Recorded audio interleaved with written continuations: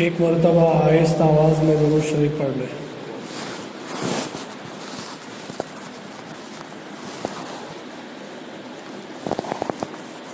الحمد للہ الحمد للہ وکفا، وسلام على عباده الذين اصطفى أما بعد۔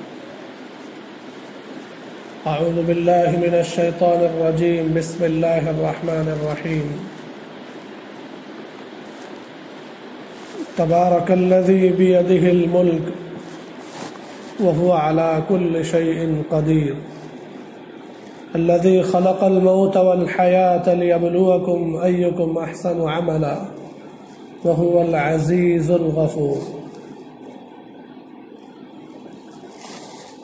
وقال الله سبحانه وتعالى اعلموا أنما الحياة الدنيا لعب وله وزينة وتفاخر بينكم وتكاثر في الأموال والأولاد.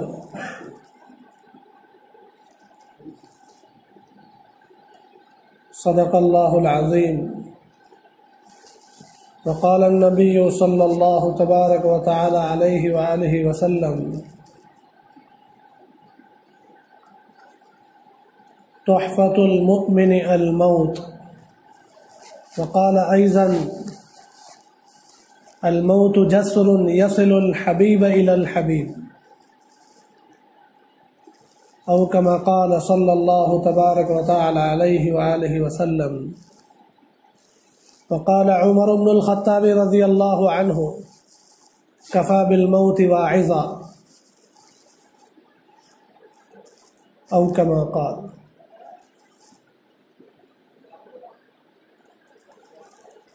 محترم بھائیوں دوستوں بزرگوں اور پردے کے پیچھے بیٹھی ہوئی خواتین۔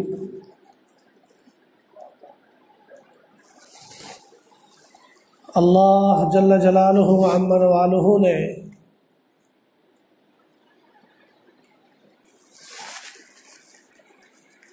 اس دنیا میں ہم انسانوں کو چند دنوں کی زندگی دے کر امتحان کے لیے بھیجا ہے۔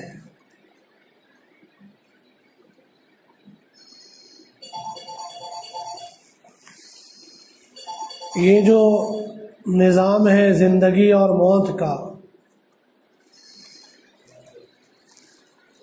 کہ کسی گھر میں یہ اعلان ہوتا ہے کہ فلانے کے یہاں یا فلانی کے یہاں بیٹا یا بیٹی پیدا ہوئی اور خوشیاں منائی جاتی ہے مبارکباد لی اور دی جاتی ہے خوشیوں میں مٹھائیاں تقسیم ہوتی ہے عقیقے میں جانور کٹتے ہیں، غریبوں میں صدقات بھی دیے جاتے ہیں۔ چند دنوں میں وہ پیدا ہونے والا بچہ بڑا ہو کر چلنے لگتا ہے، دوڑنے لگتا ہے۔ پھر وہ اپنے گھر والوں کو اور بھی زیادہ پیارا ہوتا ہے۔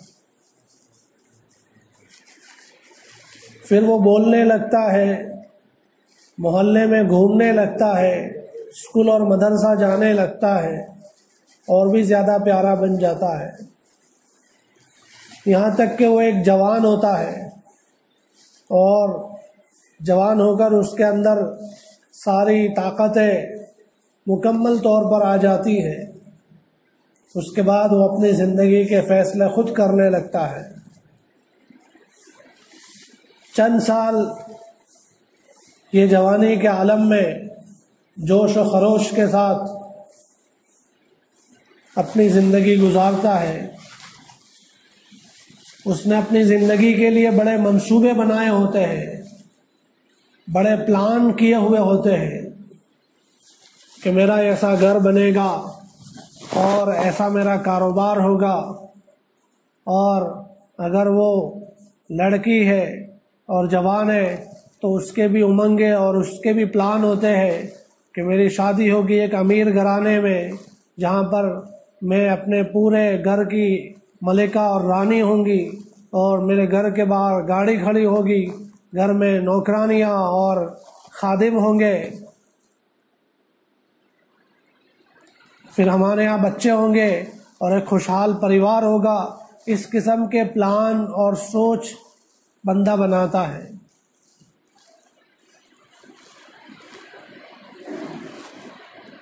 ابھی تو اس نے اپنے پلان پورے نہیں کیے ہیں۔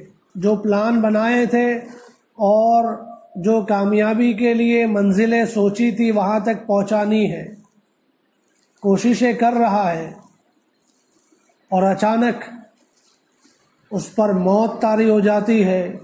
سارے پلان اس کے بنائے ہوئے وہی کے وہی رہ جاتے ہیں اور ساری محنتیں اور کامیابی کی منزل تک پہنچنے کی کوششیں وہیں رک جاتی ہے اور انسان جو تھا، چلتا پھرتا، وہ نہ ہونے کے برابر ہو جاتا ہے کہ بھائی اب نہیں ہے۔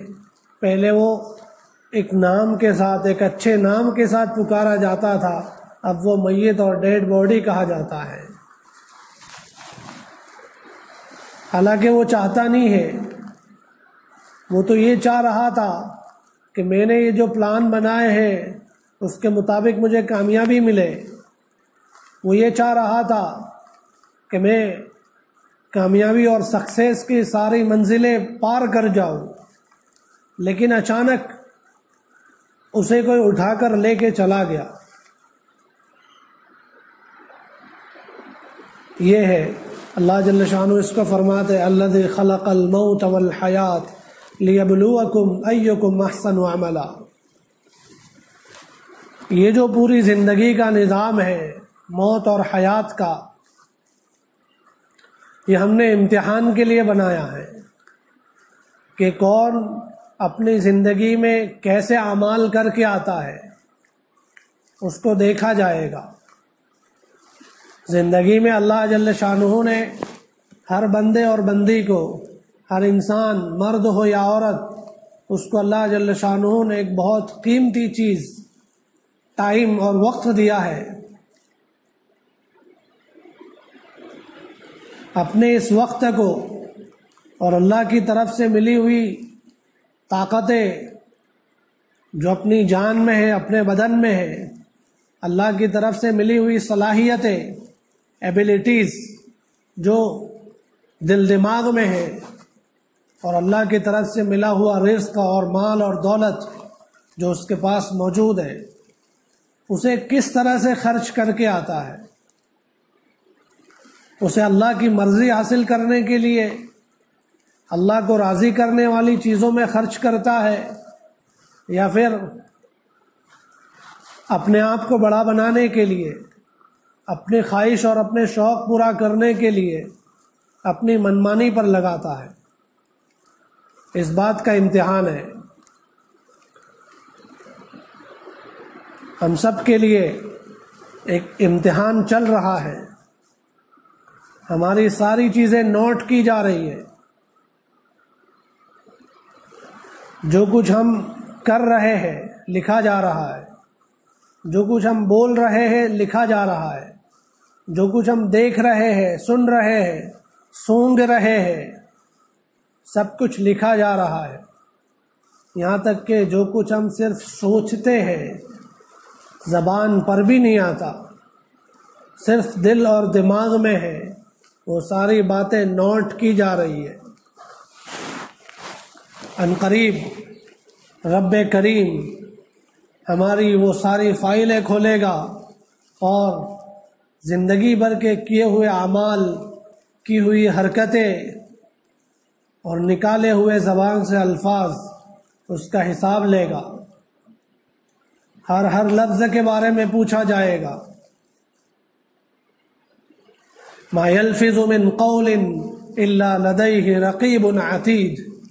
اللہ جل شانو نے فرمایا کہ جو لفظ بھی زبان سے نکل رہا ہے، اس کے لیے ایک نگران مقرر ہے، وہ اسے نوٹ کر رہا ہے۔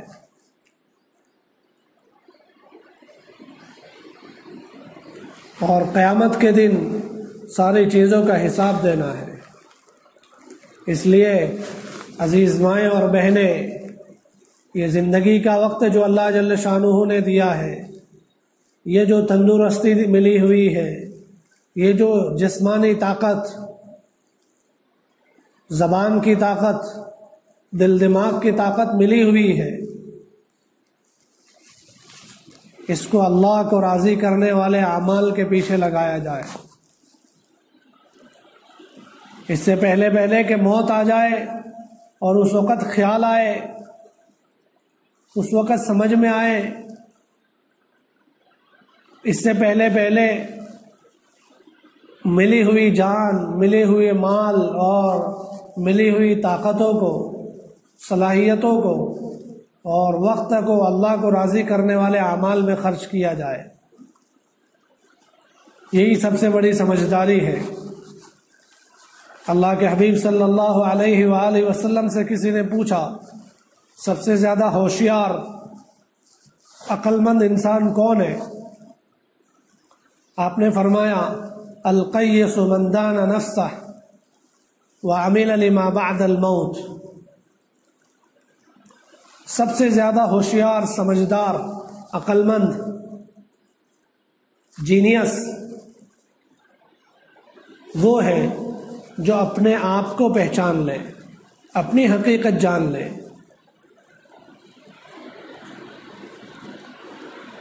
اپنی حقیقت کیا ہے؟ عزیز مائیں اور بہنیں، ہم سوچیں ہماری حقیقت کیا ہے؟ ہماری حقیقت یہ ہے کہ اس دنیا میں ہم جو آئے، ہم اپنی مرضی سے نہیں آئے۔ ہمیں کوئی لے کر آیا ہے۔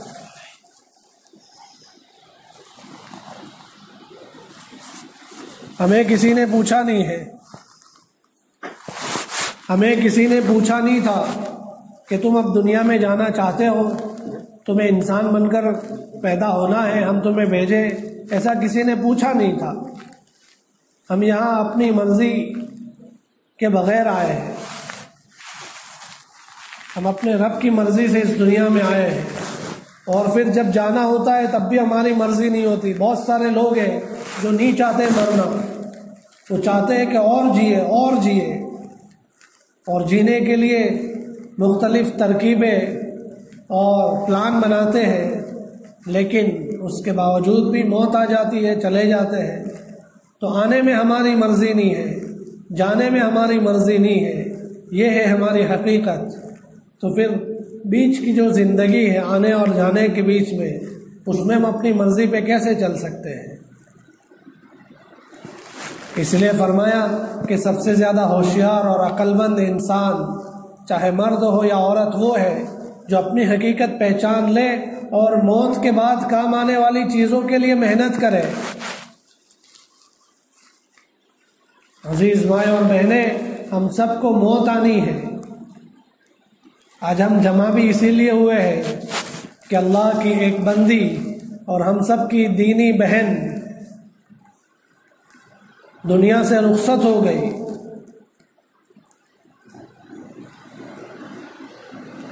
ہم جمع ہوئے کہ گھر والوں کو تسلی دی جائے۔ ہم جمع ہوئے کہ اس کے لیے اصال ثواب کیا جائے۔ لیکن ساتھ ساتھ میں اس مجلس سے ہمیں یہ سبق اور یہ عبرت لے کر اٹھنا ہے کہ آج کسی اور کی موت کی مجلس میں ہم بیٹھے ہیں، لیکن یہ موت چند دنوں میں ہمارے اوپر بھی آنے والی ہے۔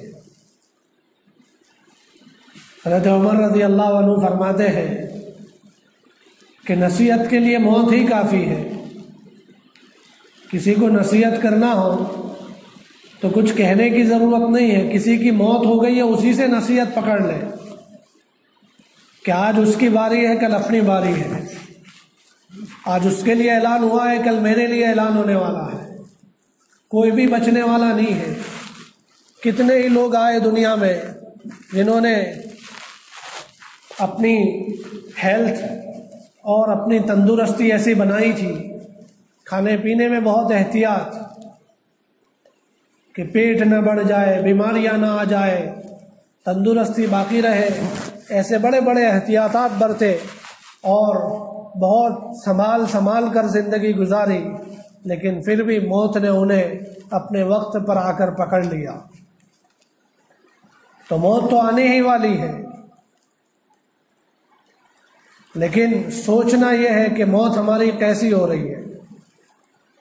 موت سے تو کوئی بچنے والا نہیں ہے۔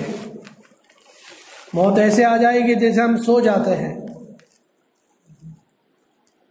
چند گھنٹوں کے بعد یہ دن کی روشنی ختم ہو کر رات کی تاریخی آ جائے گی اور ہم سب اپنے اپنے بستروں پر پہنچ کر ایسے ہی لیٹتے ہیں اور سو جاتے ہیں۔ اس میں جیسا کہ کوئی شک والی بات نہیں ہوتی، کوئی ایسا کہے کہ میں سو گیا تھا تو اس میں سارے لوگ مان لیتے ہیں۔ کوئی شک نہیں ہوتا کہ میں سو گیا تھا تو کیسے سو گیا تھا۔ ایسے ہی موت بھی آ جائے۔ گی لیکن سوچنا یہ ہے کہ موت کیسی آ رہی ہے۔ موت تین قسم کی ہوتی ہے۔ تین قسم کی موت بزرگوں نے بیان کی ہے۔ ایک ہے حسرت کی موت۔ دوسری ہے حیرت کی موت۔ اور تیسری ہے عبرت کی موت۔ حسرت کی موت کیا ہے؟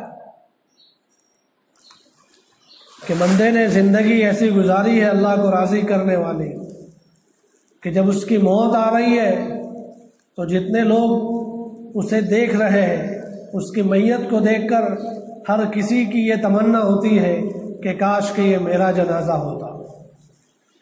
اس کو کہتے ہیں حسرت کی موت۔ اللہ کے رسول صلی اللہ علیہ وآلہ وسلم کے زمانے میں ایک صحابی کا انتقال ہوا۔ خود اللہ کے حبیب صلی اللہ علیہ وآلہ وسلم ان کو قبر میں دفنانے کے لیے اترے ہوئے تھے۔ اس منظر کو دیکھ کر کچھ صحابہ نے یہ تمنا کی کہ کاش کہ اس کی جگہ میرا جنازہ ہوتا۔ یہ ہے حسرت کی موت۔ دوسری ہوتی ہے حیرت کی موت۔ کہ آدمی دنیا کمانے میں لگا ہوا ہے۔ اپنی دنیا کو آباد کرنے میں لگا ہوا ہے۔ عورت ہے تو گھر کو سجانے میں ایسی مشغول ہے، اپنے اچھے سے اچھے کپڑے بنانے میں ایسی مشغول ہے۔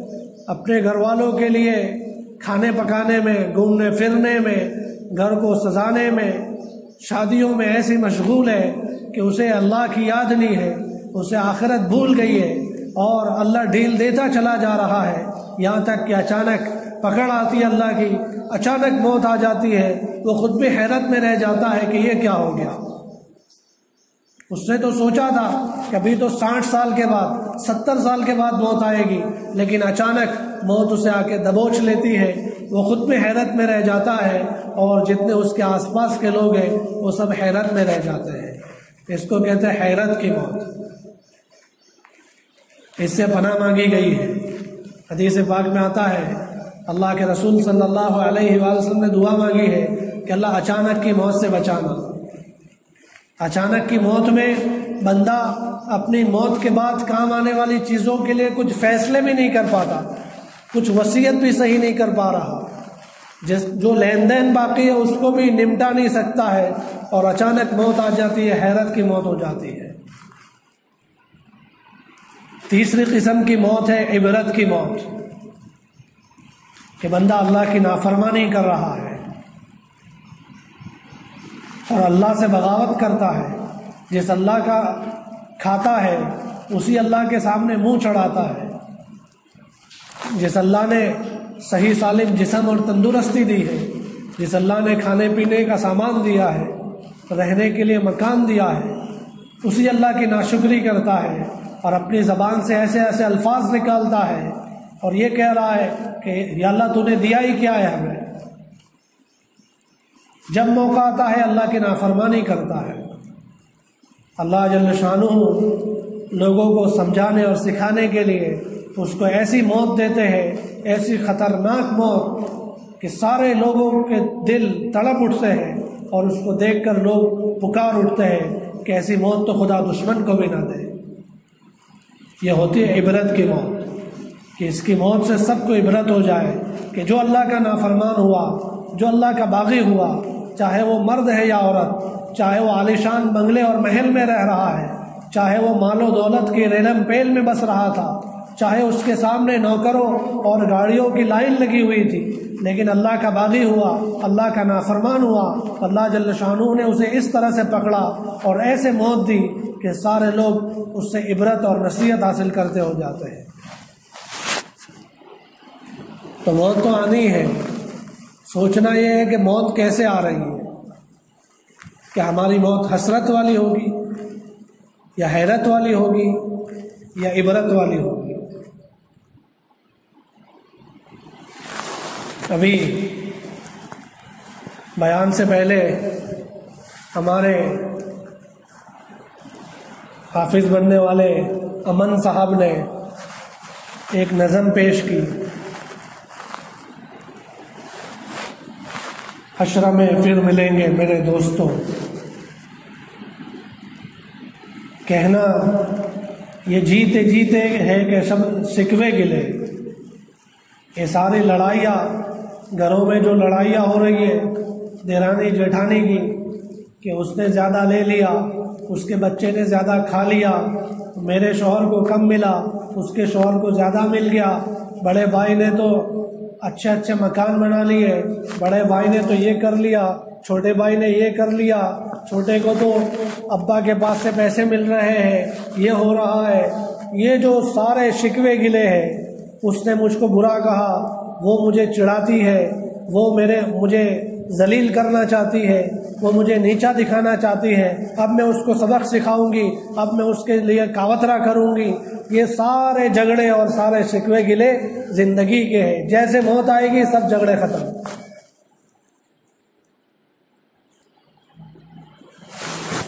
کتابوں میں لکھا ہے کہ جب انسان کی موت ہوتی ہے تو اس وقت پانچ فرشتے آتے ہیں۔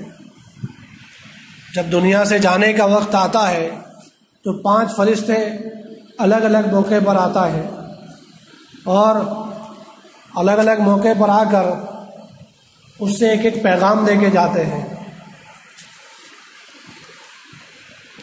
پہلا فرشتہ جو آتا ہے وہ اس وقت آتا ہے جب آدمی بیماری کے بستر پر پڑا ہوا ہے۔ جب صحیح سالم تھا، ہٹا کٹا تھا، اس وقت تو خوب دن دناتا تھا جسم میں طاقت تھی، تو اس کو اللہ کی عبادت میں لگانے کے بجائے لوگوں پر ظلم کرنے میں لگاتا تھا۔ عورت تھی تو اپنے جسم کی طاقت کو لوگوں کو ستانے میں، خاص کر کے گھر والوں کو ستانے میں لگاتی تھی۔ بہو ہے تو ساس کو ستانے میں، ساس ہے تو بہو کو پریشان کرنے میں لگاتی تھی۔ دیرانی جیٹھانی اپنی طاقت کو ایک دوسرے کو نیچا دکھانے میں، ایک دوسرے سے آگے بڑھ جانے میں لگاتے تھے۔ جسم میں طاقت تھی، تندرستی تھی تو دن میں دس دس پندرہ پندرہ بیس بیس مرتبہ آئینے کے سامنے آتی تھی۔ میں کیسی لگتی ہوں؟ میرے چہرے پہ کیا لگ گیا ہے؟ میرے بال کیسے ہے میرے اندر خوشبو آ رہی ہے۔ بار بار اپنے آپ کو سجتی اور سنوارتی تھی۔ اور پھر بغیر پردے کے لوگوں کے سامنے آ کر لوگوں کو اپنی طرف لبھاتی تھی۔ اپنی طرف لوگوں کو کھینچتی تھی۔ امپریس کرنے کی کوشش کرتی تھی۔ لیکن جب بیماری آتی ہے، وہ بیماری جس میں موت ہونے والی ہے اور بیماری کے بستر پر یہ پڑی ہوئی ہے، اس وقت پہلا فرشتہ اس کے پاس آتا ہے اور آ کر کہتا ہے، دیکھ لیا نا، بہت نافرمانی کرتی تھی، آج کیا ہو گیا؟ تیری رگ رگ کی طاقت کو اللہ نے توڑ دیا۔ اس وقت اس آدمی کا جس کو فرشتہ اگر یہ کہہ رہا ہے، اور کسی کو نہیں سنائی دے رہا، اور کسی کو فرشتہ دکھائی نہیں دے رہا، جو مرنے والا ہے اور موت والی بیماری میں بستر پر پڑا ہوا ہے، اس کو فرشتہ آ کر جب یہ اعلان کرتا ہے کہ تیری ساری جسم کی طاقت کو آج اللہ نے توڑ دیا، بہت نافرمانی کرتا تھا آج دیکھ لیا نا۔ جب یہ اعلان کرتا ہے فرشتہ اس کے پاس آ کر، اس وقت اس انسان کا حال یہ ہوتا ہے کہ اگر اس کے جسم پر کوئی ہاتھ رکھے تو اسے تلوار کی طرح سے لگتا ہے، جیسے کسی نے اس کو چھری چلائی ہو۔ مچھر بیٹھتا ہے جسم پر اس وقت تو پہاڑ کی طرح سے بھاری لگتا ہے۔ پھر وہ فرشتہ کہتا ہے، دیکھ، تیرے پاس سمجھانے والے آئے تھے۔ تجھے بہت سمجھایا تھا کہ دنیا کی زندگی چند دنوں کی زندگی ہے۔ چند دنوں میں تو موت کے گھاٹ اترنے والی ہے۔ یہ ساری خوبصورتیاں اور یہ سارے جھٹکے اور مٹکے اور یہ سارے خوبصورتی کے ناٹک یہ سب ختم ہونے والے ہیں۔ تجھے لوگوں نے اگر سمجھایا، لیکن تیری سمجھ میں نہیں آیا۔ اگر تو نے آگے آخرت کی زندگی کے لیے تیاری کی ہوئی ہے تو ٹھیک ہے، ورنہ آگے معاملہ بڑا مشکل ہے۔ یہ کہہ کے چلا جاتا پہلا فرشتہ۔ پھر ملک الموت آ کر اس کی روح قبض کر لیتے ہیں۔ گھر والے رونے دھونے میں لگ جاتے ہیں۔ پھر جب اس کو کفن پہنایا جاتا ہے، اس وقت دوسرا فرشتہ آتا ہے اور کہتا ہے، یہ ہے تیری ساری زندگی کا سرمایہ، یہ کفن ہے۔ کہاں گئے وہ تیرے تیس تیس چالیس چالیس جوڑ کپڑے؟ جس کو تو اپنی الماریوں میں، اپنے کپوڑ میں سجا کر خوش ہو رہی ہوتی تھی۔ اپنی سہیلیوں اور اپنی بہنوں، اپنی دیرانی اور جٹھانیوں کے سامنے فخر کرتی تھی کہ میرا ایسا ڈریس ہے اور ویسا ڈریس ہے۔ ایک ایک ڈریس میں تو دس دس ہزار کا پہنتی ہوں۔ میں فلانی برانڈ کا ڈریس پہنتی ہوں۔ میں فلانے مال میں سے لائی ہوں۔ کہاں گیا یہ سار تیرا سارا سب؟ یہ ہے تیری ساری زندگی کی کائنات کہ ایک سفید کفن میں آج تجھے دفن کر دیا گیا ہے۔ تیرا سارا مال، تیرے وہ سارے ڈریس تیرے وہ سارے زر و جواہرات، وہ سیٹ ڈائمنڈ کے اور وہ جویلری جس کو پہن کر تو لوگوں کو دکھاتی تھی، وہ سب سائڈ میں کر دیا اور یہ پانچ چھ میٹر کا کفن کا ٹکڑا تیرے بدن پہ ڈال دیا ہے۔ اگر تو نے آخرت کے لیے محنت کی ہے تو ٹھیک ہے، ورنہ آگے معاملہ اور مشکل ہے۔ پھر جب کفن بھی ہو گیا ہے اب اس کو گھر سے اٹھانے کا وقت آیا کہ اب اس کا جنازہ گھر سے اٹھا کر لے جایا جائے گا جنازے کی نماز کے لیے۔ اس وقت تیسرا فرشتہ آتا ہے اور کہتا ہے، جس گھر کو تو نے بنایا، اس میں رہا، آج اس میں تجھے تیرے گھر والے رکھنا پسند نہیں کرتے۔ بہت محنت سے اور بہت شان سے تو نے گھر بنایا تھا۔ تو ایسا کہہ رہا تھا اور تو ایسا کہہ رہی تھی کہ یہ ہمارا گھر ہے۔ اس کے جیسا کسی کا گھر نہیں ہوگا۔ ہم نے ہم نے اس میں ایسا فرنیچر بنوایا ہے۔ ہم نے کچن میں ایسی ایسی مشینریاں لگوائی ہیں۔ ہم نے اس میں کاچ ایسے لگوائے ہیں۔ اور ہمارے تو یہ صوفہ سیٹ اتنے قیمتی ہے اور ہمارے گھر کا تو یہ اتنا قیمتی ہے۔ تو نے بڑی شان سے یہ گھر بنوایا تھا۔ آج اس میں تیرے اپنے گھر والے تجھے رکھنا پسند نہیں کر رہے، نکال رہے ہیں۔ اور تجھے سمجھانے والے آئے تھے، تجھے لوگوں نے کہا تھا کہ یہ دنیا دار الغرور ہے، یہ دھوکے کا گھر ہے، یہاں کسی کا گھر بنا نہیں ہے جو بنے گا۔ جس نے بھی گھر بنایا ہے، چند دنوں میں اسے اپنا گھر چھوڑنا پڑا ہے۔ تجھے لوگ سمجھانے والے آئے تھے، یہ ہمیشہ رہنے کی جگہ نہیں ہے، یہ چھوڑنے والی جگہ ہے۔ اگر تو نے محنت کی آخرت کے لیے، تو ٹھیک ہے، ورنہ آگے معاملہ اور مشکل ہے۔ پھر جب جنازے کی نماز ہو جاتی ہے اور اس میت کو قبر میں دفن کرنے کے لیے اتارا جاتا ہے، اس وقت چوتھا فرشتہ آتا ہے اور آ کر کہتا ہے کہ پچاس سال محنت کر کے بہت عالیشان گھر اور محل بنایا تھا۔ وہ چھوڑ کر پچاس منٹ میں کھودی گئی یہ قبر چھ فٹ کی۔ اس میں ہاتھ تجھے ڈال دیا گیا ہے، جس میں نہ کھڑکی ہے، نہ دروازہ۔ کروٹ بھی نہیں بدل سکتی۔ کہاں گیا وہ تیرا؟ دو ہزار فٹ کا، تین ہزار فٹ کا گھر، جس میں تیرا عالیشان بیڈ روم تھا، عالیشان ہال اور کچن تھے، کہاں گئے وہ؟ یہ پچاس منٹ میں چھ فٹ کی کھودی ہوئی قبر میں تجھے ڈال دیا گیا ہے۔ تجھے سمجھانے والے آئے تھے، ہر ایک نے آ کے سمجھایا تجھے۔ لیکن تیرے تو اوپر نشہ چڑھا ہوا تھا اچھے گھر کا، سود لے لے کر بھی نے گھر بنایا۔ پیسے نہیں تھے بینکوں کے ذریعے سے پیسے لیے۔ کسی طرح سے میں اپنے آس پاس کے لوگوں میں بڑی دکھ جاؤں۔ تو نے اپنے شوہر کو روز تانے دیے۔ روز تیرے شوہر کو تو نے کہا کہ کسی طرح سے ہمارا گھر بڑا ہونا چاہیے، ایسا ہونا چاہیے۔ ہم نے دیکھا تھا فلانے کے گھر میں ایسا فرنیچر تھا، ہمارا اس سے عالیشان ہونا چاہیے۔ ہم نے فلانی جگہ انٹرنیٹ پر ٹائل سے دیکھی ہوئی تھی، اس سے عالیشان ٹائلس ہماری ہونی چاہیے۔ ہمیں تو اپنے گھر میں ہمارا جو کاچ ہے اور جو شیشہ ہے وہ ایسا ہونا چاہیے، ویسا ہونا چاہیے۔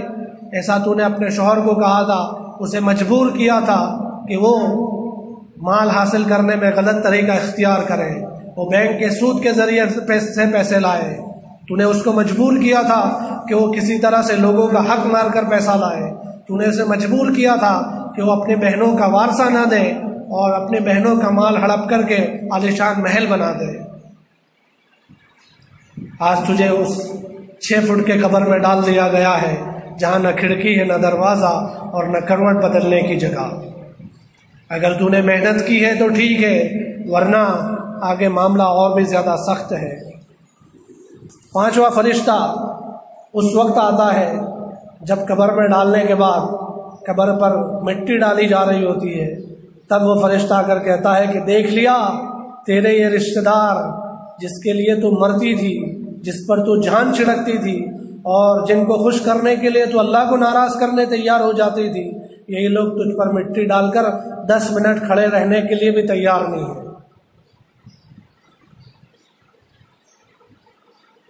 تجھ کو مٹی میں دفن کر کے جا رہے ہیں۔ اس وقت وہ فرشتہ مٹی ہاتھ میں لے کر اور اٹھا کر یہ اعلان کرتا ہے کہیں جانے والوں سن لو، یہ تو چلا گیا، واپس آنے والا نہیں ہے۔ تمہیں بھی جانا ہے، تم اپنی تیاری کرو۔ ایک دوسری جگہ کتاب میں لکھا ہوا ہے کہ روزانہ موت کا فرشتہ آدمی سے چار مرتبہ مسافہ کرتا ہے۔ چار مرتبہ آ کر اسے مل جاتا ہے کہ میں قریب آنے والا ہوں اور روزانہ سات مرتبہ اس کے ٹھکانے پر نظر کرتا ہے۔ کہ یہ آج کس طرح سے عالی شان محل میں گھوم رہا ہے یا گھوم رہی ہے یا آج کس طرح سے اپنی آخرت کو بھول کر زندگی گزار رہی ہے، اس کا ٹھکانہ اور اس کا انجام کیسا خطرناک ہے؟ ملک الموت چار چار مرتبہ آ کر روزانہ مسافہ کر کے جاتا ہے۔ اس لیے عزیز مائیں اور بہنیں، موت تو آنی ہے، لیکن موت سے پہلے تیاری کی ہوئی ہے تو پھر موت حقیقت میں ایک مومن کے لیے تحفہ بنے گا۔ اگر تیاری نہیں کی ہوئی ہے، تو پھر معاملہ بہت خطرناک ہے۔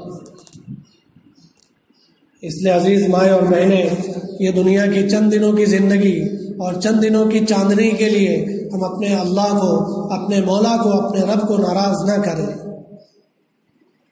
اپنی زندگی میں دین داخل کریں۔ اللہ کا دیا ہوا دین بہت مبارک ہے۔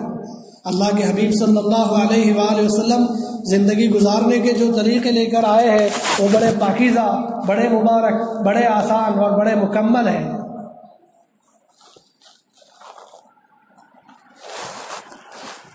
آپ علیہ السلام والسلام جو دین لے کر آئے ہیں، وہ صرف عبادت کا دین نہیں ہے۔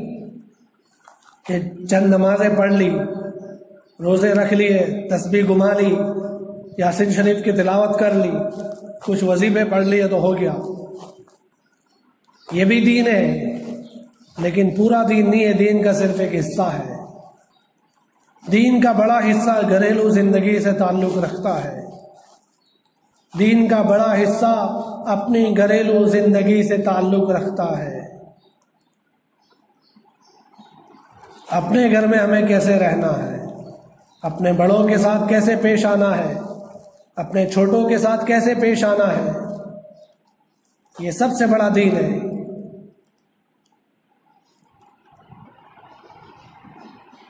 اللہ کے رسول صلی اللہ علیہ وآلہ وسلم سے ایک دن ایک آدمی نے آ کر پوچھا، یا رسول اللہ، مل ایمان؟ ایمان کیا ہے؟ تو آپ نے یہ جواب نہیں دیا کہ رات میں اٹھ کر تحجد کی نماز پڑھو، لمبی لمبی اور دعائیں مانگو۔ آپ نے یہ جواب نہیں دیا کہ روزانہ ایک ہزار لانے کی تصویر پڑھ لیا کرو۔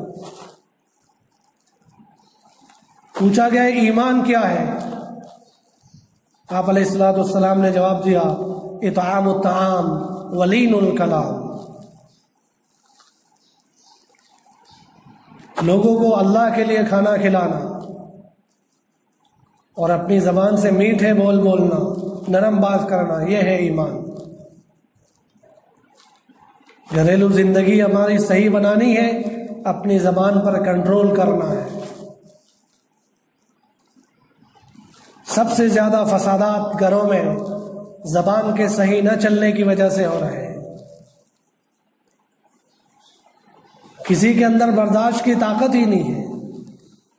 چند دن پہلے شادی کر کے آنے والی نئی بہو اس کے اندر بھی برداشت کی طاقت نہیں ہے اور جو سالوں سے اس گھر میں رہ رہی ہے، جس جس کے پاس سمجھ ہے، جس کے پاس زندگی کا تجربہ ہے جس نے پوری زندگی نکالی ہوئی ہے، اس ساس کے اندر بھی برداشت کی طاقت نہیں ہے۔ ذرا سی بات میں بہو کی بھی زبان چل رہی ہے اور ساس کی بھی زبان چل رہی ہے۔ ایک دوسرے کو کوسا جا رہا ہے۔ سامنے بھی کوسا جا رہا ہے پیٹ پیچھے بھی کوسا جا رہا ہے۔ اللہ کے رسول صلی اللہ علیہ وآلہ وسلم نے فرمایا، بخاری شریف کی حدیث ہے جس کا خلاصہ ہے کہ کبھی کبھی آدمی چاہے مرد ہو یا عورت، اپنی زبان سے ایسا لفظ نکالتا ہے۔ اسے تو دھیان بھی نہیں ہوتا کہ میں کیا بول گیا یا کیا بول گئی۔ لیکن اس کی وجہ سے اللہ جل شانو سے جہنم میں اتنا نیچے پھینک دیتے ہیں جتنا کہ زمین و آسمان کے درمیان کا فاصلہ ہے۔ عزیز مائیں اور بہنیں، بڑی چیز ہے یہ زبان۔ اپنی زبان پر میٹھے بول لاؤ برداشت کر جاؤ۔ کوئی بول رہا ہے، سن لو، برداشت کر لو۔ لیکن اپنی زبان پر گندی بات نہ لاؤ۔ غیبت نہ لاؤ۔ ناشکری کے بول نہ لاؤ۔ سب سے زیادہ ناشکریہ ہمارے گھر میں ہماری عورتیں کر رہی ہوتی ہے قانون کا خزانہ بھی ان کا شوہر اگر لا کر رکھ دے تب بھی ان کا پیٹ بھرنے والا نہیں ہے۔ ناشکری کے بول ان کی زبان سے ایسے نکل رہے ہوتے ہیں۔ اللہ کے حبیب صلی اللہ علیہ وآلہ وسلم کو معراج کے موقع پر یا کسی اور موقع پر جنت و جہنم کی سیر کرائی گئی۔ آپ علیہ السلاۃ السلام نے جنت کو بھی دیکھا، وہاں جانے والے لوگوں کو بھی دیکھا اور آ کر سنایا کہ میں نے جنت کو دیکھا، جنت میں ایسے ایسے لوگ جائیں گے۔ میں نے جہنم کو دیکھا، جہنم میں زیادہ جانے والی عورتیں ہیں۔ وہ صحابہ کی عورتیں تھیں، جنہوں نے یہ سنا کہ جہنم میں زیادہ جانے والی عورتیں ہیں۔ وہ تڑپ اٹھی اور اللہ کے حبیب صلی اللہ علیہ وآلہ وسلم سے اس کی وجہ پوچھی کہ یا رسول اللہ صلی اللہ علیہ وآلہ وسلم کیا گناہ ہے ایسے جس کی وجہ سے ہم عورتیں جہنم میں زیادہ جائیں؟ گی آپ علیہ السلاۃ والسلام نے فرمایا، کفران العشیر، اپنے شوہروں کی ناشکری اور اپنی زبان کو غلط چلانا۔ یہ دو عادتیں ایسی خطرناک ہیں۔ نیک ہونے کے باوجود، نمازوں کی پابند ہونے کے باوجود اس خاتون کو جہنم کے اندر پہنچا دیتی ایک دن کچھ لوگ اللہ کے رسول صلی اللہ علیہ وآلہ وسلم سے مسئلہ پوچھنے کے لیے آئے کہ ہمارے محلے میں ایک عورت ہے، بہت پابند ہے، بہت نمازیں پڑھتی ہے۔ اشراق، چاش، تحجد اوابین اس کے علاوہ بھی شکرانے کی نفل صلاۃ الحاجہ، تحیت المسجد، تحیت الوضو۔ ساری نفلیں پڑھ لیتی ہے، ذکر بھی بہت کرتی ہے، لیکن اس کی زبان اچھی نہیں ہے، اس کے اخلاق اچھے نہیں ہیں، اس کی وجہ سے پڑوسی پریشان رہتے ہیں۔ اس کے بارے میں آپ کا کیا خیال ہے؟ اس کے بارے میں آپ کیا مسئلہ دیتے ہیں؟ اللہ کے حبیب صلی اللہ علیہ وآلہ وسلم نے جواب دیا جہنم میں جائے گی۔ پھر کچھ اور لوگ آئے، انہوں نے آ کر پوچھا کہ اللہ کے حبیب صلی اللہ علیہ وآلہ وسلم، ہمارے محلے میں ایک عورت ہے، صرف فرض نماز پڑھ لیتی ہے۔ فرض روزے ہوتے ہیں، رمضان کے وہ رکھ لیتی ہے۔ لیکن اس کی زبان بڑی اچھی ہے۔ اس کے پڑوسی اس سے خوش اور راضی ہے اس کے بارے میں آپ کیا جواب دیتے ہیں؟ آپ علیہ السلاۃ والسلام نے فرمایا، وہ جنت میں جائے۔ عزیز مائیں اور بہنیں، یہ سب سے بڑا دین ہے۔ اپنی گھریلو زندگی کا دین سیکھے اپنی زبان کو میٹھا بنائے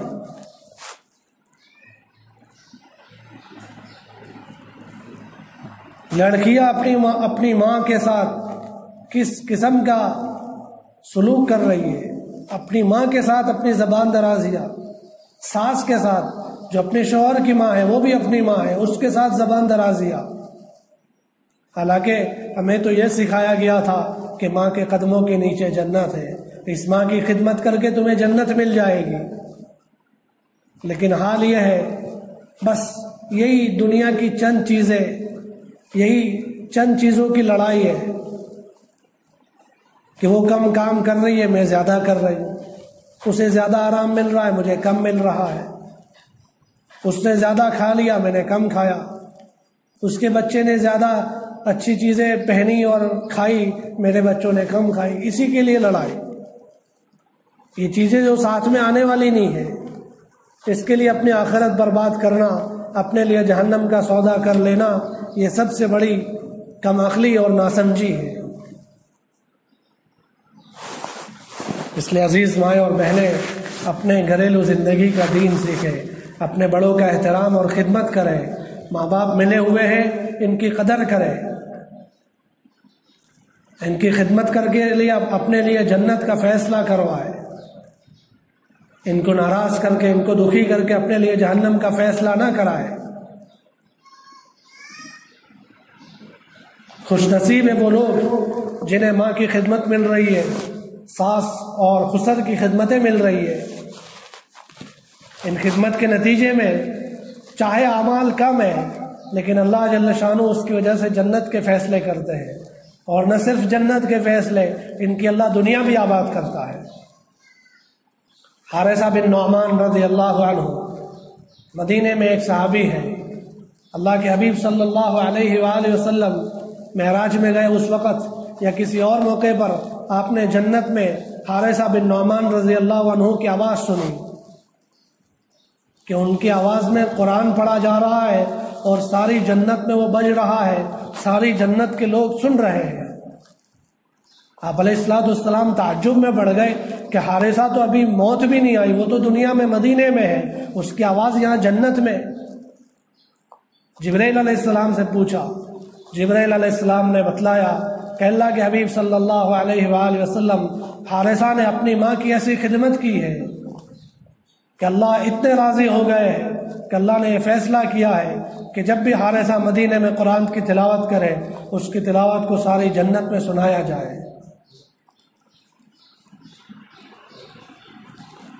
اور ماں کی خدمت سے دنیا بھی بڑی آباد ہوتی ہے۔ بوڑھے ماں باپ، بیمار ماں باپ ان کی خدمت دنیا بھی مالا مال ہو جاتی ہے۔ کتابوں میں واقعہ لکھا ہے کہ ایک بوڑھے صاحب تھے۔ بیمار ہو گئے۔ ان کے تین بیٹے تھے۔ جیسے آج لڑائیاں ہو رہی ہے نا کہ ماں باپ کو میں نہیں رکھوں گا، تیرے گھر رہیں گے، باریاں رکھو۔ چھ مہینے تیرے وہاں، چھ مہینے میرے وہاں۔ ہم نے تو اپنے گھر میں بہت کیا، لیکن پھر بھی وہاں جا کر وہ برائی بولتے ہیں۔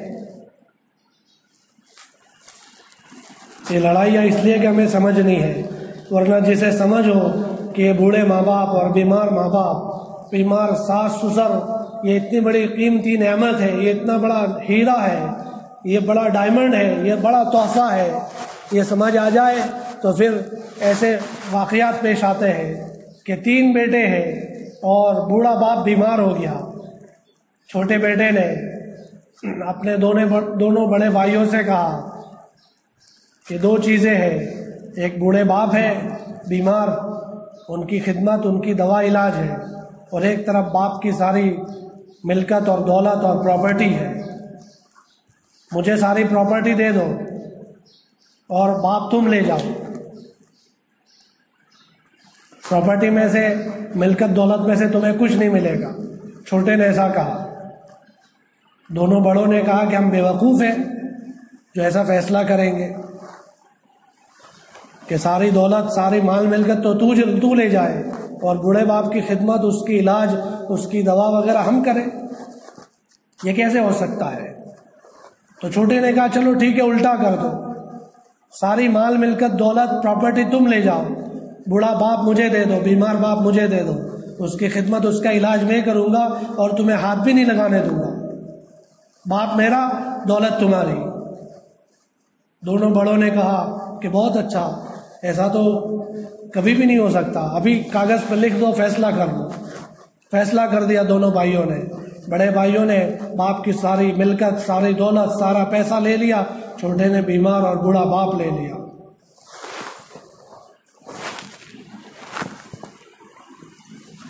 اور چھوٹے نے پھر اپنی محنت سے جو کچھ کماتا تھا، اس سے باپ کی خدمت اور علاج کرنا شروع کیا۔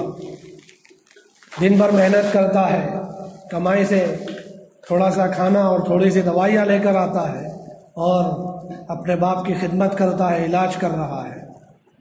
اس کی بیوی بھی اس کے ساتھ مل کر خدمت کر رہی ہے۔ خدمت کرنے کرنے میں علاج کرنے کرانے میں ساری بچت جو تھی، ساری بچت ختم ہو گئی۔ اور باپ کو بھی شفا نہ ملی، باپ بھی اللہ کو پیارے ہو گئے۔ دولت اور ملکت تو دو بڑے بھائیوں نے لے لی تھی۔ جو بچت تھی، وہ سب علاج میں لگ گئی۔ اور ابا جان تھے تو ابا جان بھی رخصت ہو گئے۔ پھر بھی اس نے اپنی زبان سے ایک لفظ نہیں نکالا کہ ساری خدمتیں میں ہی کروں۔ میں ہی سب کچھ کروں، دوسرے بھائیوں کا کوئی حق نہیں لگتا۔ اس لیے کہ اس کے دل میں یہ بات اتری ہوئی تھی کہ بوڑھے ماں باپ کی خدمت کر کے میری جنت بھی بنے گی میری دنیا بھی آباد ہوگی، میرا اللہ میرے لیے خیر کا فیصلہ کرے گا۔ باپ کو دفنا کر آ گئے۔ رات کو خواب دیکھ رہا ہے۔ خواب میں کوئی آ کر کہہ رہا ہے کہ فلانی جگہ ایک پتھر پڑا ہوا ہے، پتھر کے نیچے سو دینار رکھے ہوئے ہیں۔ سو سونے کے سکے جا کر لے لو۔ اس نے خواب میں پوچھا کہ اس میں برکت ہے؟ تو کہنے والے نے کہا، نہیں، اس میں برکت نہیں ہے۔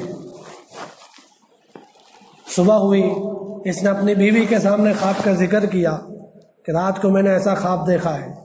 بیوی نے کہا، جاؤ، جا کے لے لو۔ سو اشرف یا سو سونے کے سکے ہیں۔ ابا جان کی خدمت کی ہے، تو اس کے بدلے میں اللہ نے دی ہے، جا کر لے لو۔ اس نے کہا کہ اس میں برکت نہیں ہے، میں نہیں لوں گا۔ بیوی سمجھاتی رہی، پھر بھی نہیں لیا اس نے۔ دوسرے دن رات میں پھر خواب آیا۔ کہنے والا کہہ رہا ہے کہ فلانی جگہ ایک پتھر ہے، پتھر کے نیچے دس دینار، دس سونے کے سکے رکھے ہوئے ہیں۔ جا کر لے لو۔ اس نے پھر پوچھا، اس میں برکت ہے؟ کہنے والے نے کہا، نہیں، اس میں برکت نہیں ہے۔ صبح میں اس نے بیوی کے سامنے پھر ذکر کیا۔ بیوی نے کہا، ہم تو کہتے تھے، کل جا کے لے لو۔ سو تھے، اس میں سے دس ہو گئے، جاؤ، آج لے لو۔ نہیں تو دس بھی چلے جائیں گے۔ شوہر بڑا سمجھدار تھا۔ اس نے کہا، جب برکت نہیں ہے تو لے کے کیا فائدہ؟ نہیں لوں گا میں۔ بیوی نے کہا، مجھے ایڈریس دے دو، میں جا کے لے آتی ہوں۔ کہا، نہیں دوں گا۔ تیسری رات، پھر خواب آیا۔ اور خواب میں کوئی کہہ رہا ہے کہ فلانی جگہ ایک دینار، ایک سونے کا سکہ پڑا ہوا ہے، جا کر لے لو۔ اس نے پھر یہی سوال کیا کہ اس میں برکت ہے؟ کہنے والے نے کہا ہاں اس میں برکت ہے۔ صبح میں یہ اٹھا اور جا کر وہاں سے دینار لے آیا۔ پھر راستے میں آتے ہوئے اس نے کہا کہ بہت دن ہو گئے، گھر میں گوشت پکانی ہے، تو چلو مچھلی لے کر چلتے ہیں۔ دو مچھلیاں لے کر آیا، آدھے دینار کی۔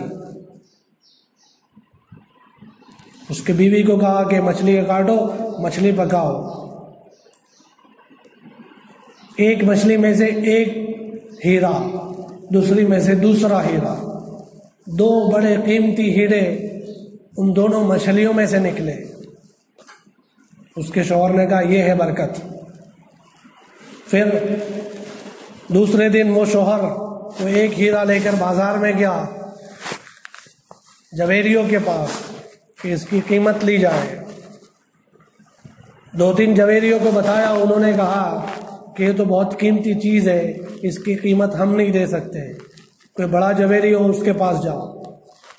تو جو شہر میں سب سے بڑا جویری تھا، بہت بڑا بیپاری تھا، اس کے پاس گئے اور جا کر اس کو بتایا۔ تو اس نے کہا کہ یہ تو بہت ہی قیمتی اور نایاب ہیرا ہے۔ اس کے بارے میں میں نے کتابوں میں پڑھا ہوا ہے۔ اور یہ ایک نہیں ہوگا، دو ہی ہوں گے۔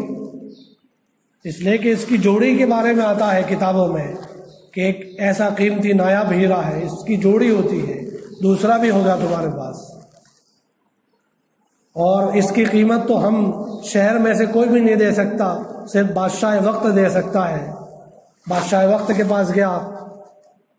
بادشاہ وقت نے جویریوں سے اس کی قیمت پوچھوائی۔ جویریوں نے کہا، یہ بہت نایاب چیز ہے۔ اس کی قیمت ہم سارے شہر کے جویری مل کر نہیں دے سکتے۔ آپ جو دینا چاہے دے دیں۔ یہ بہت قیمتی چیز ہے۔ آپ کے خزانے میں یہ آ جانی چاہیے۔ دونوں ہیرے منگوائے اور اس کے بدلے میں نوے نوے بیل گاڑے سونے کے بھر کر بادشاہ نے اس کو دیے۔ بیل گاڑے پورے سونے سے بھر کر، ایک دو نہیں، نوے۔ یہ ہے برکت کہ ماں باپ کی خدمت کی، دنیا میں بھی اللہ نے دنیا آباد کی اور اللہ نے جنت بھی آباد کی۔ اس لیے عزیز مائیں اور بہنیں، اپنی گھریلو زندگی کا دین سیکھے چھوٹی چھوٹی باتوں پر لڑنے میں اپنی زبان کو، اپنے اخلاق کو اور اپنے دل دماغ کو خراب نہ کرے بڑا وسیع دل رکھے ہر ایک کو معاف کرے ہر ایک کے لیے خیر کی سوچ رکھے جو بھی ہے گھر میں، ہر ایک اچھا ہے، ہر ایک کے لیے اچھی سوچ رکھے کسی کے لیے برائی کا پلان نہ بنائے کسی کو نیچا دکھانے کے لیے، کسی کو ستانے کا کاوترا اور سازش نہ بنائے۔ ہر ایک کے ساتھ میٹھے بول بولے۔ اپنی ساس کو اپنی ماں سمجھ کر خدمت کرے اور ساس بہو کو اپنی بیٹی سمجھ کر اس کی عزت کرے، اس کے ساتھ اس کی ہیلپ کرے۔ اس طرح سے ایک پیارا سا ماحول جو اللہ کے حبیب صلی اللہ علیہ وآلہ وسلم نے گھریلو زندگی کا ہمیں سکھایا ہے، وہ بنائے۔ گھریلو زندگی گزارتے گزارتے دنیا بھی آباد ہوگی، خوشگوار زندگی ہوگی اور آخرت میں جنتیں چمک رہی ہوگی۔ تو اس لیے آج کی اس مجلس سے پیغام لے کر اٹھے کہ موت ہر ایک کی آنی ہے۔ موت سے پہلے پہلے موت کی تیاری ضرور کرنا ہے۔ موت کو حسرت والی اور عبرت والی نہیں بنانا۔ حیرت والی اور عبرت والی نہیں بنانا۔ حسرت والی موت بنانا ہے۔ کہ اس طرح سے موت آئے کہ سارے لوگ دیکھتے رہ جائیں ہر کسی کی زبان پہ یہ ہو کہ کاش کہ یہ میرا جنازہ ہوتا۔ ایسی موت بنانے کے لیے اپنی پوری زندگی دین والی بنائے، خاص طور سے اپنے گھریلو زندگی دین والی بنائے۔ اپنے بڑوں کی عزت اور خدمت کرے، اپنے چھوٹوں کی شفقت اور رحمت کرے اور آپس میں مل جل کر رہے۔ اللہ کے دین اور اللہ کے رسول صلی اللہ علیہ وآلہ وسلم کی سنتوں کو اپنائے، اپنے آخرت کی تیاری کرے۔ اس طرح سے زندگی گزاریں گے۔ تو یہ زندگی جو اللہ نے امتحان کے لیے دی ہوئی تھی، اس امتحان میں ہم کامیاب ہوں ہوں گے اور موت ہمارے لیے تحفہ ہوگی۔ جس دن ہم اپنے رب سے ملیں گے، وہ دن ہماری زندگی کا سب سے زیادہ خوش قسمت اور سب سے زیادہ مبارک دن ہوگا۔ تو یہی آج کی مجلس کا پیغام ہے۔ آج کی مجلس کا یہی سبق اور یہی سیکھ ہے اسی کو آج یہاں سے لے کر اٹھے اور ساتھ ساتھ میں اپنے مرحومین کے لیے جو کچھ ہو سکے اصال ثواب کرے، اپنے آخرت کی بھی تیاری کرے، اپنے پچھلے جو لوگ چلے گئے ہیں، ان کے لیے بھی اصال ثواب کی ترتیبیں بنائے اور اپنے اولاد کی صحیح دینی تربیت بھی کرے، اپنے آنے والی نسلوں کی دین اور ایمان کی فکر کرے۔ یہی آج کا پیغام تھا۔ اللہ جل شاہ ہمیں دین کی صحیح سمجھ اور عمل کی توفیق نصیب فرمائے۔ وما علینا الا البلاغ